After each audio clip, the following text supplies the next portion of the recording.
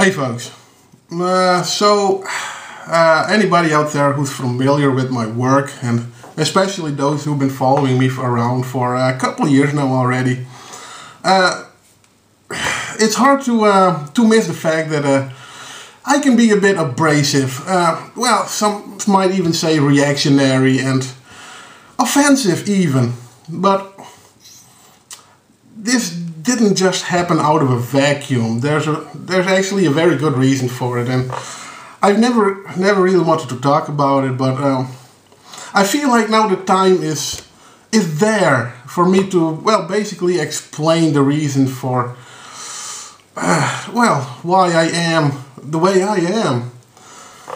You know, years ago when I was like a teenager, a young teenager, somebody once in passing looked at me and they said, "Hi, how you're how are you doing?"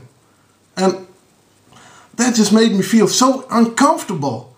I just I just had PTSD ever since. I mean, there weren't any safe spaces for me. I just had to deal with it and suck it up, but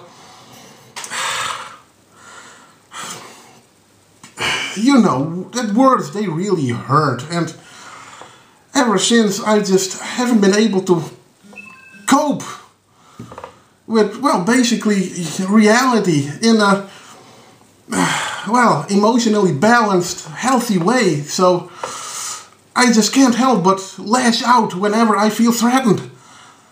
And so, yeah. Create safe spaces, people. There need to be safe spaces everywhere. Because before you know it, somebody walks up to you and says, hey, how you're doing?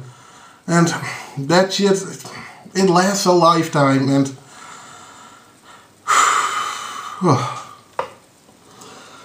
oh, I'm so glad this, oh, I told you this, but still the PTSD remains and I'll just have to live with it for the rest of my life. But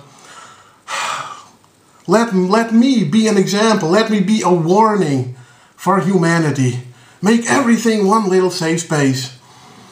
Don't allow any interaction without it being sanctioned up front.